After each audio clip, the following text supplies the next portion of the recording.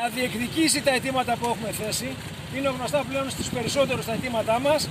Ευχαριστούμε τους συναδέλφους που συμμετέχουν.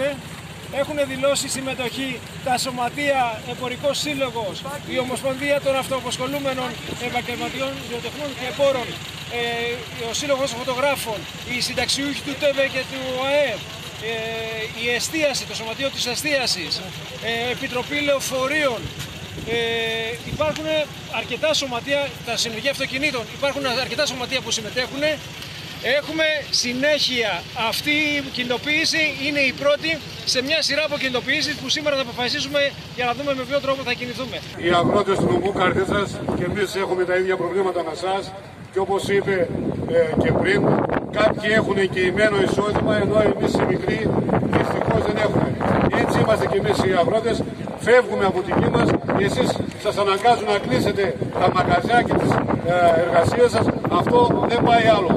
Ο αγώνας θα είναι κοινός και πιστεύουμε κι εμείς ότι οι ενωμένοι θα καταφέρουμε να κερδίσουμε και να κρατήσουμε την καρδίτσα ε, ζωντανή εμείς, εσείς στις δουλειές σας, εμείς στα χωράφια μας και όλοι μαζί να προχωρήσουμε. Καλόν αγώνα και σίγουρα θα συναντηθούμε και σε άλλες ε, εκδηλώσεις που θα κάνουμε.